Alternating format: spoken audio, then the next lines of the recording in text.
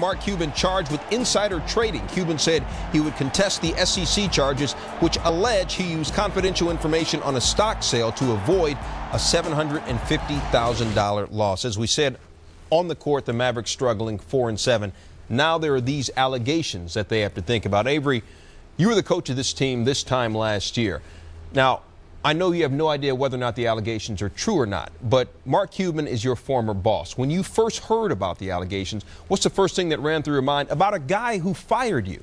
Well, first of all, Stuart, the first thing that ran through my mind was, you know, nobody really knows all the facts. All right, this is going to going to be settled in court, and until we know all the facts, nobody should really have an opinion on it right now. I know, yeah, even though he fired me, he was the guy that also hired me and that. took a chance on True me. that. so again, until it plays out in court, we, we nobody really knows what the facts are.